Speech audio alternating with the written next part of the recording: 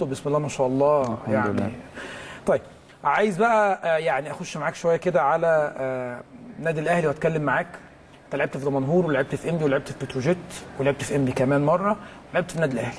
الفارق ما بين اللعب في النادي الأهلي واللعب في أي نادي آخر مع كامل طبعا الاحترام والتقدير لباقي الأندية اللي أنت لعبت ليها لا فرق فرق كبير طبعا إن أنت موجود في النادي الأهلي وسط لعيبة كبيرة لازم تتعب أكتر لازم تشتغل أكتر.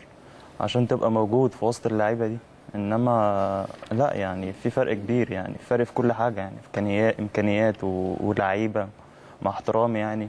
لا لازم لازم تموت نفسك عشان تبقى موجود في وسط اللعيبة دي وموجود في النادي الأهلي.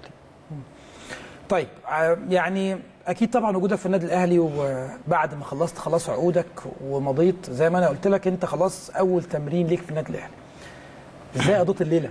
اللي ما بين خلصت خلاص عقودك ومضيت وإن أنت عندك تاني يوم تمرين في النادي الأهلي في ملعب مختار التتش. آه تقريبا كان التمرين الصبح.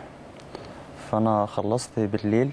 أنا أصحابي كلهم بقى جولي والتليفونات بقى طول الليل. حتى أنا من الفرحة بجد نمت نمت الساعة 4 اليوم ده. كان عندي تمرين الساعة 9 الصبح. ف فرحت التمرين بقى تاني يوم. صحيت صحيت رحت التمرين يعني.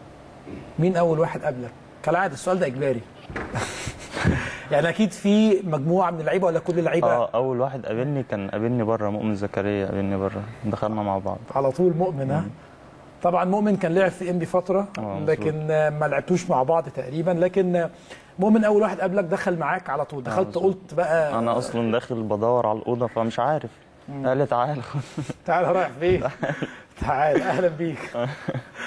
لعيبة أكيد طبعا رحبت بيك وأنا عارف إن لعيبة النادي الأهلي دايما مش بتعود أي حد أو أي صفقة موجودة إن هي إن هو غريب آه،. بيحسسوه إن هو موجود معاهم بقاله فترة وإن هم. إن هم اخوات يعني هم كلهم إخوات ولو احتجت حاجة فأكيد ده شعور أنت حسيت بيه أول ما دخلت أول ما دخلت أوضة اللبس وعم حارس قابلته بقى وميكي آه. ومحمود كابتن سيد أنا مش جديد على النادي الأهلي طبعا يعني أنا رحت كأن أنا في إنبي بالظبط يعني.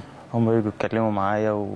وبيتكلموا معايا كلام كلام إيجابي لازم تموت نفسك لازم لازم ولازم. فحتى أنا سافرت تاني يوم معاهم على طول الجزائر.